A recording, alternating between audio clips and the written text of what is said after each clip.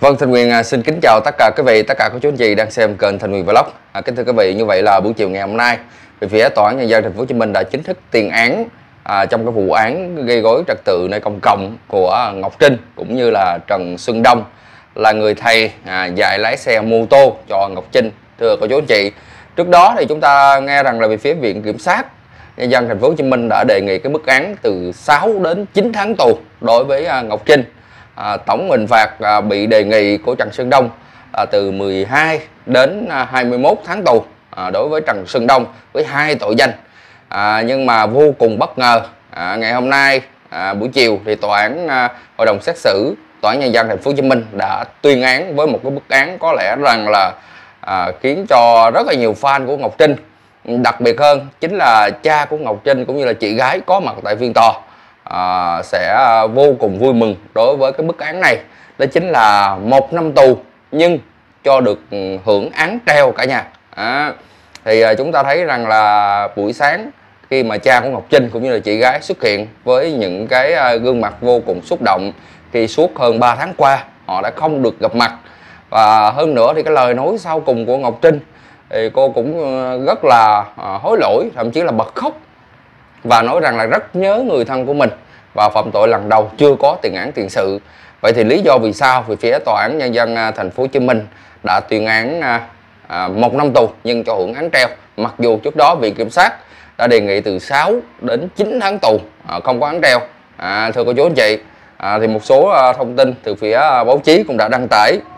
Theo hội đồng xét xử thì các bị cáo thừa nhận hành vi phạm tội đối chiếu với lời khai của các bị cáo phù hợp với nhau phù hợp với các tài liệu khác. Do đó có đủ cơ sở kết luận từ tháng 7 2023 đến tháng 10 2023 Trần Thị Ngọc Trinh thường gọi là người mẫu Ngọc Trinh mặc dù là không có giấy phép lái xe phân khối trên 150cc bằng A2 đó nhưng Trinh đã rủ Trần Xuân Đông đến những tuyến đường giao thông công cộng trên địa bàn thành phố Thủ Đức, thành phố Hồ Chí Minh để cùng thực hiện các động tác lái xe nguy hiểm như là thả hai tay, nằm trên yên xe, quỳ gối trên yên xe, mô tù phần khối lớn. Đồng thời, Trinh chỉ đạo phân công Nguyễn Thị Thúy Kiều, trợ lý của Trinh, Nguyễn Thanh Long, tài xế của Trinh và Tăng Duy Khánh, bạn của Long, chuẩn bị điện thoại flycam để quay lại quá trình Trinh và Đông thực hiện các động tác lái xe nguy hiểm. Sau đó thì Trinh biên tập lại và đăng tải các video này lên các trang mạng cá nhân của Trinh nhằm gây sự chú ý. Cụ thể thì vào các ngày 5 tháng 9 2023, 6 tháng 9 2023 và 6 tháng 10 à, 2023, Ngọc Trinh và Đông đã có hành vi điều khiển xe gắn máy phân khối lớn không mặc đồ bảo hộ, thực hiện các động tác lái xe nguy hiểm, di chuyển trên nhiều tuyến đường giao thông công cộng trên địa bàn thành phố Thủ Đức, thành phố Hồ Chí Minh, gây ảnh hưởng xấu đến an ninh trật tự công cộng và an toàn giao thông. Sau đó, Trinh biên tập lại và đăng các video trên trang mạng cá nhân có lượng người theo dõi, bình luận và tương tác đặc biệt lớn, gây ảnh hưởng xấu trong dư luận và xã hội. Xét thấy các bị cáo đồng phạm có sự phân công bàn bạc, lựa chọn địa điểm, nhưng các bị cáo không cấu kết chặt chẽ với nhau và không có tổ chức. Các bị cáo đồng phạm với vai trò ngang nhau. Ngoài ra thì Trần Sơn Đông còn sử dụng giấy xe đăng ký mô tô giả để điều khiển xe mô tô biển số 59A311588 thực hiện hành vi gây rối trật tự công cộng vào ngày 6 tháng 10 2023. Hành vi gây rối trật tự công cộng của Trần Thị Ngọc Trinh và Trần Xuân Đông xâm phạm đến trật tự công cộng, đe dọa đến tính mạng sức khỏe người khác, gây mất an ninh trật tự cho xã hội. Hành vi sử dụng tài liệu giả của cơ quan tổ chức của Trần Xuân Đông xâm phạm đến trật tự quản lý hành chính của cơ quan nhà nước. Do vậy cần phải xử lý nghiêm pháp luật nhằm giáo dục và phòng ngừa chung. Ừ, xét thấy bị cáo Ngọc Trinh phạm tội lần đầu, ăn năn hối cải, có nơi cư trú rõ ràng nên không nhất thiết phải cách ly khỏi đời sống xã hội. Từ đó hội đồng xét xử tuyên phạt bị cáo Trần Thị Ngọc Trinh một năm tù nhưng cho hưởng án treo về tội gây rối trật tự nơi công cộng tuyên phạt trần Sơn Đông 37 tuổi thầy dạy lái xe của Ngọc Trinh về một năm tù về tội gây rối trật tự công cộng, 6 tháng tù về tội sử dụng tài liệu giả của cơ quan tổ chức. Tổng hợp hình phạt là một năm 6 tháng tù. À, à, theo phía viện kiểm sát thì à, Ngọc Trinh à, mặc dù không có giấy phép lái xe à, nhưng để mà gây sự chú ý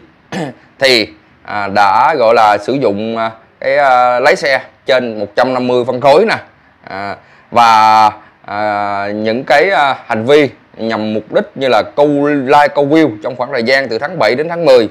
ừ, để cùng với Trần Xuân Đông à, thực hiện trên địa bàn thành phố Hồ Chí Minh. À, Viện kiểm sát đánh giá Ngọc Trinh có vai trò chủ mưu rủ đông thực hiện hành vi, à, bị cấu đông là người à, giúp sức. Về phía viện kiểm sát thì cho rằng là việc các bị cáo tụ tập nhóm đông người thực hiện các động tác nguy hiểm, phản cảm gây ảnh hưởng xấu đến trật tự công cộng cần phải có bản án nghiêm khắc nhằm răng đe và phòng người chung. Tuy nhiên, các bị cáo phạm tội lần đầu chưa có tiền án tiền sự. Ngọc Trinh thì có nhiều đóng góp với công tác xã hội. Bị cáo à, Đông thì có gia đình có công với cách mạng, chưa gây thiệt hại về người cũng như là tài sản. Nên về phía đề nghị à, à, về phía viện kiểm sát đề nghị hội đồng xét xử cho các bị cáo hưởng mức hình phạt dưới khung hình phạt. Ừ. À, về phía Ngọc Trinh đó cả nhà thì sau khi à, nghe viện kiểm sát đề nghị với mức án từ 6 à, đến à, 9 tháng tù thì à, cô đã xúc động và à, khi mà nói lời sau cùng cũng đã nói những cái lời xin lỗi với à, gia đình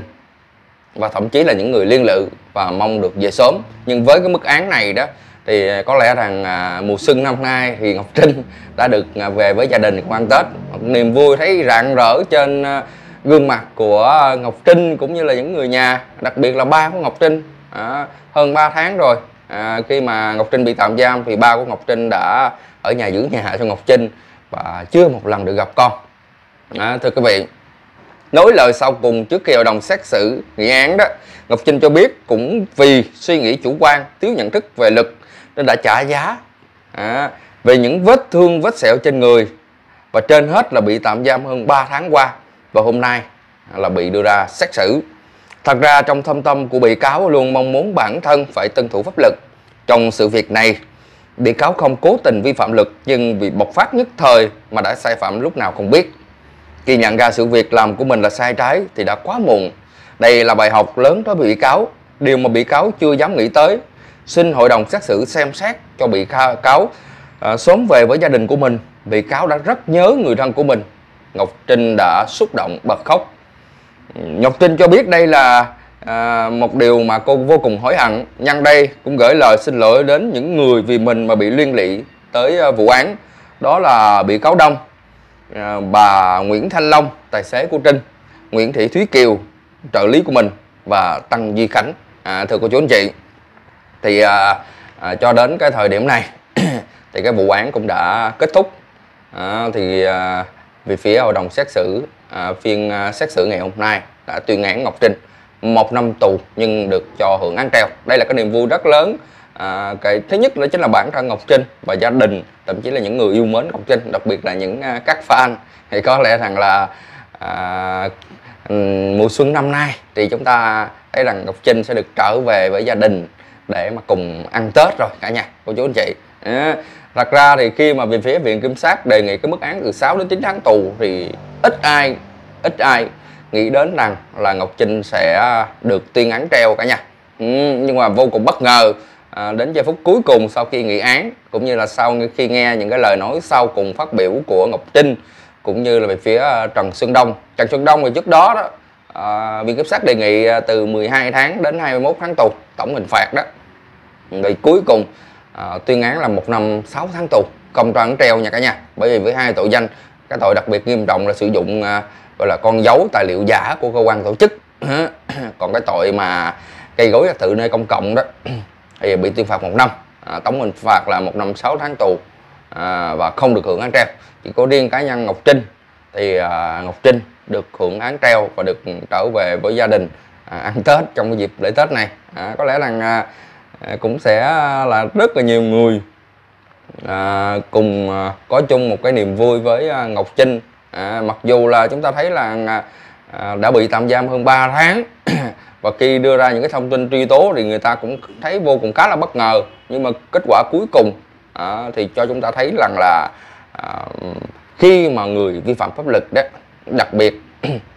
là biết ăn năn hối cải đó cả nhà thì luôn có à, những cái sự khoan hồng một trong những cái mức án à, phù hợp à, dành cho từng đối tượng với từng hành vi phạm tội. À, đặc biệt ngọc trinh ngày hôm nay thì à, chúng ta thấy rằng là ừ, cô ấy cũng đã hối lỗi khá là nhiều lần làm đó ừ, tại cơ quan chức năng thì cũng có một cái video clip à, trước khi cái vụ án đưa ra xét xử cũng đã có những cái lời xin lỗi ăn năn hối cải. Và tại phiên tòa ngày hôm nay thì Ngọc Trinh cũng đã rất là nhiều lần xúc động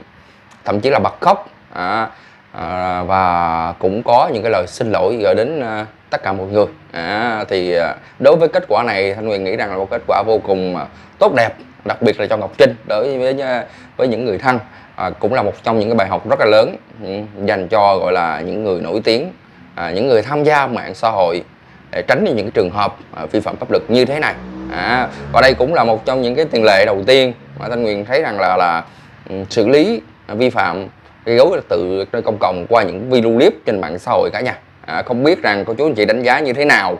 về cái à, mức án mà về phía tòa án đã tuyên cho Ngọc Trinh. Một mức án cũng khá là bất ngờ mặc dù là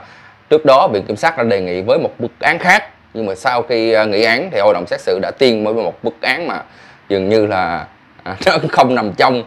không nằm trong cái đề nghị của viện kiểm sát luôn. À, thì mọi ý kiến đóng góp mong rằng cô chú anh chị để lại dưới phần video. Thanh quyền có thể tham khảo hơn. Bây giờ xin cảm ơn. Xin kính chào và hẹn gặp lại.